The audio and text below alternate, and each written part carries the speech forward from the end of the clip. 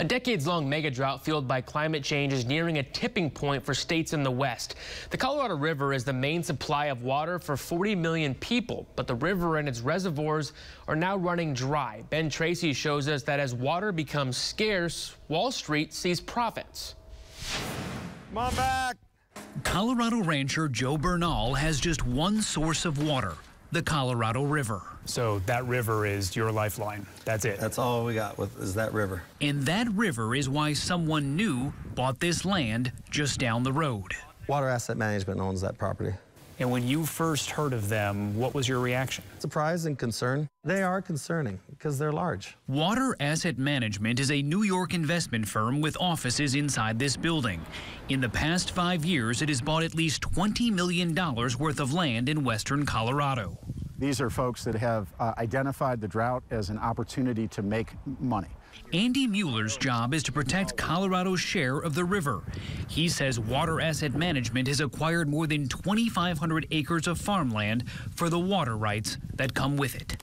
With the intent to not use the water and send the water downstream to an entity or entities that might pay them quite a bit of money. I view these uh, private drought profiteers as vultures. That's pretty strong. Yeah.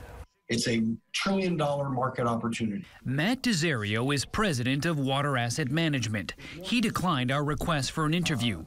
But three years ago, he said one of his firm's strategies is to profit from water rights, in part by making the farms it buys more efficient and selling water to other users, including farmers and municipalities. When you need water, water is the only thing that will do.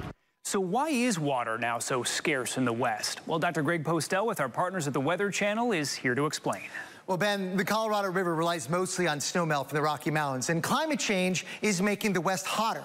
And for every degree increase in temperature, the river flow has dropped by about 5%. That adds up to about a 20% reduction over the past century.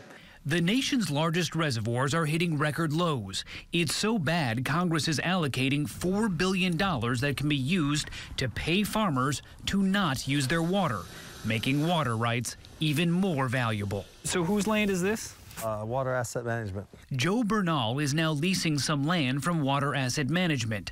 He says ranchers here are keeping an eye on their new neighbors. And we'll be watching for what, what may be coming.